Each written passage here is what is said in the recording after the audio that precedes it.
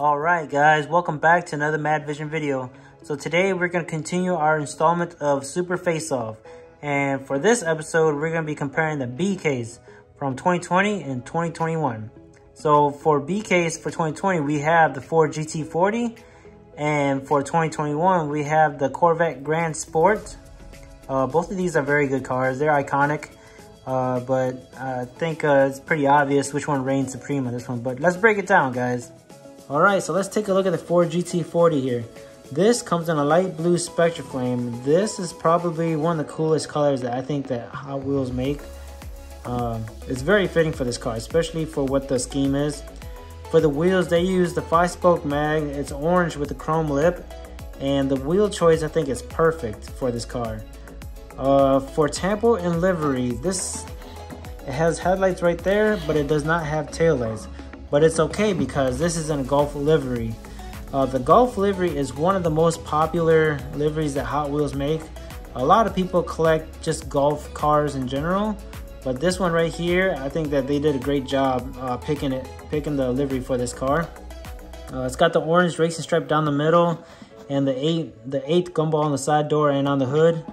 But yeah, overall, I think that Hot Wheels did an amazing job in this car. I mean, they knocked this one out of the ballpark. When you think about a super treasure hunt, this is what you would uh, think of right here. Okay, guys, so let's talk about the 2021 Grand Sport Roadster. This uh, is not very high on people's list of favorite supers. Uh, it's not very high on mine, but it's overall, I mean, it's, it's decent. Uh, but let's break it down. So the color scheme on this one is a light blue. Now this one is a little bit lighter than the Ford GT40. Uh, I think I like it better darker, but this light one's not bad. And then uh, for the wheels, it's got the drag dish uh, real real riders, basically like Steelies. But uh, anyways, yeah, it's gold with the chrome lip and big beefy tires on it.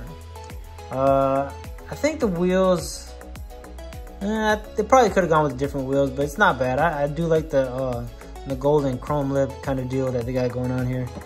And then for Tampos, it's got the gumball on the side and the gumball on the the hood. Uh, it's got the orange and white racing stripes, kind of like it's actually pretty similar to the uh, the Gulf, but uh, just doesn't have the Gulf liveries and stuff. But yeah, color scheme wise, it's pretty close to the Ford GT40. Uh, Tampo wise, I mean not Tampo, uh, detail wise, the headlights they did they did put a um like a kind of like a white white cover to the headlights and taillights. They didn't do anything with the taillights. But kind of like the Ford GT40, it kind of, uh, with all the other details that they have added to it, it's kind of hard to add um, taillights to this.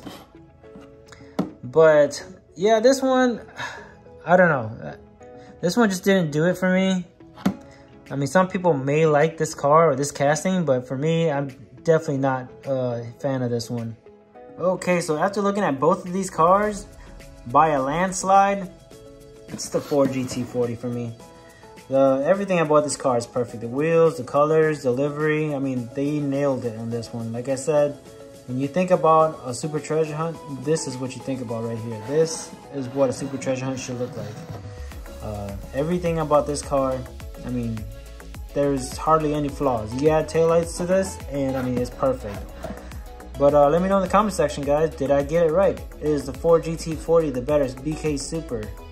Alright, guys. So, as always, keep it real. Good luck to you. And peace out. See you guys next time.